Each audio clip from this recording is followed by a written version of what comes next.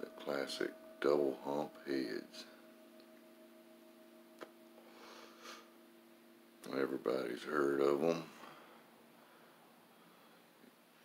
Still see people in comments and media saying, put some double hump heads on that fucking thing. If you really want to go fast. Thing about these old double hump heads are, these motherfuckers now are, you know, 55, 60 years old. They done been around a minute. And technology has marched on. They've steadily been improving small player, improving all engines over the years. So shit has gotten better. But back in the day, if you were building a hot rod, small block Chevy. You know, them were the heads you wanted. Get you a pair of double hump heads. Just like them motherfuckers right there. They're not bad heads as far as stock heads go. Course, Vortec heads outflow them in stock form but the mold heads, there's more meat in there to grind out. So if you take a pair of Vortec heads and take a pair of camel humps or double humps or whatever the fuck you want to call them, and you port them out as far as you can port them, you're going to get a hell of a lot more out of the old thick-walled cast iron heads than you are the Vortecs. The Vortec heads are thinner, less material to grind away. But you can spend a shitload of money on some fucking double hump heads. That's the reality of it. This day and age, what machine work cost and how much shit these old heads you know, if you want to make them tip top, perfect fucking condition, prepare to shell out some serious cash for an old 60 year old pair of fucking heads. You're gonna need, you know, fucking seats, you know, valve guides. You need to cut them for screw in studs and guide plates. You need to drill out the push rod holes. You need to mill them. You need to cut the spring seats where you can get a bigger spring in them. Or that's not necessary if you run some beehives or something, but if you want to put more than about an inch and a quarter diameter spring in it, you're to have to cut them fuckers out. But you can take a pair of them and just get them rebuilt. A valve job, new set of valves and shit, and all the shit you need to get them in good, usable condition. You're gonna have well over a grand in just the fucking machine work. And then depending on what parts you buy, you know, you can spend another five, six, seven hundred dollars pretty easy on fucking parts. And then if you want them ported, you know, prices range for that shit, but expect on, you know, 500 to as much as you want to fucking spend. You know, you spend 10,000 fucking dollars if pockets are that deep, but realistically, to take a pair of double hump heads and make them capable of say 500 horsepower, you're gonna have a couple of grand in them motherfuckers easy. Whereas nowadays you can just get your phone out and get on eBay and you know shop through all the different fucking heads available and pick you out a pair that suits your needs.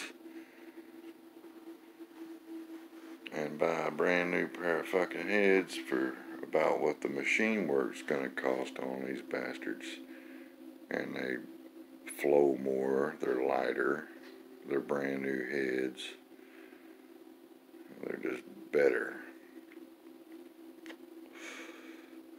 Back in the day, you didn't have 500 fucking heads to pick between. If you wanted a badass small block Chevy, these were the heads. This was your choice.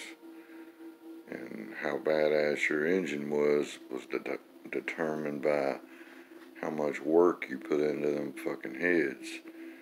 How much porting and putting the big valves and killer valve jobs and all the tricks and shit to them.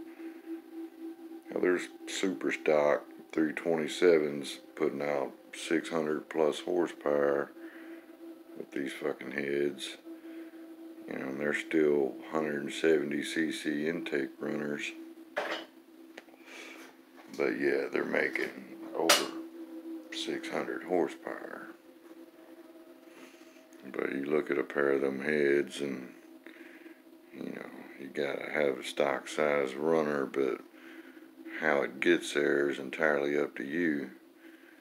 And you see heads with half inch of fucking epoxy in the bottom of the runner and then poured it all the way to the fucking valve cover rail. Some Frankenstein shit. And they're getting some big flow numbers out of that Frankenstein shit too. Just go look at some videos of some NHRA super stock 327 small block Chevys running you know, low tens in the quarter with a fucking a Carter AFB carburetor and cast iron double hump heads, you know. It'd take over 600 horse to make that car run that number. There's a couple of videos of them on dynos floating around out there, but the world of super stock and stock and shit, people are generally pretty tight-lipped about that shit because you don't want everybody else to know what you're doing or how you got your results. So it's hard to find much information on a real super stock engine. And they're spending shitloads of money on them fucking heads. So you can spend $10,000 on a pair of fucking double hump heads to make them super stock ready. So it's how much do you want to spend? But for the average guy just trying to build him a fucking hot rod that runs respectable numbers at the track and still can be cruised. Hell of a lot better off just buying a new set of aftermarket aluminum heads. There's many good choices, but back in the day, the old double humps was the only game in fucking town. And how far you went with them was entirely up to you. These particular units here are off of a 68 302 small block Chevy 68 Camaro. They're 291 casting double humps. Allegedly, they the best of them. I might end up. This is just a mocked up engine assembly. I like to try to keep parts together that go together. So I'll probably end up building this engine and fucking around with these heads and build an old school style hot rod engine with it. Something to play with. But they have potential, but like I said, you can dump a shitload of money in them old motherfuckers and a hell of a lot cheaper just to buy a brand new pair. So, take it for what it's worth. The old double hump heads, they still got a following. There's still people out there loving them. They're cool, old school shit, muscle car era shit. But these days, you're better off. There's people out there restoring old muscle cars that pay a lot of money for that numbers correct old shit. And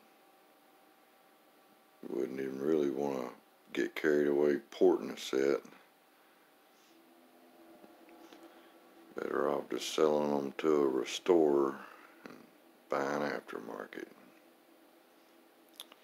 But there's just a few things about the old double humps one ought to consider if you got an engine build in mind. Fuckers can get expensive.